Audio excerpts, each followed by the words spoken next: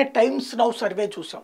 ఏదైతే దేశవ్యాప్తంగా సర్వేలు అందులో ఆంధ్రప్రదేశ్లో ఇరవై నాలుగు నుండి ఇరవై ఐదు దాకా వైఎస్ఆర్ కాంగ్రెస్ పార్టీకి వస్తాయి అంటే టైమ్స్ నౌకి ఏడాదికి ఎనిమిది కోట్ల రూపాయలు చొప్పున చందా గడుతున్నది వైఎస్ఆర్ కాంగ్రెస్ పార్టీ ప్రభుత్వం. అందుకోసమే ఇట్లాంటి నాటకాలు ఆడింది ప్రచారాన్ని డైవర్ట్ చేసేటువంటి ఆట ఆడుతోంది.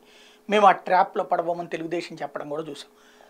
అయితే సరే ఇది ఇక్కడ పక్కన పెడితే తెలంగాణలో కూడా టైమ్స్ను దాదాపు పది సీట్లు భారతీయ జనతా పార్టీకిను ఆరు దాకా టీఆర్ఎస్కి చెప్పింది. అక్కడ ఇంత పెద్ద రచ్చ జరగలేదు ఇక్కడ జరిగినంతగా. ఇప్పుడు ఈ సర్వేలు ఒక్కొక్క ఛానళ్ళు రంగంలోకి దిగుతున్నాయి. లేటెస్ట్గా జన్ లోక్పాల్ వాళ్ళ సర్వే ప్రకారం బీఆర్ఎస్కి నలభై తొమ్మిది సీట్లు వస్తాయట అక్కడ.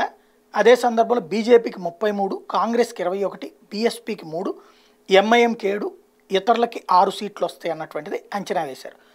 అంటే బీఆర్ఎస్తే ప్రభుత్వం అధికారం. కాకపోతే సంకీర్ణ ప్రభుత్వం. ఇప్పుడు ఈ లెక్కను చూసుకున్న వాళ్ళకు ఉన్నటువంటి నూట పదిహేడు నూట ఇరవై వేసుకుంటే అరవై యాభై తొమ్మిది సీట్లు వస్తే చాలు.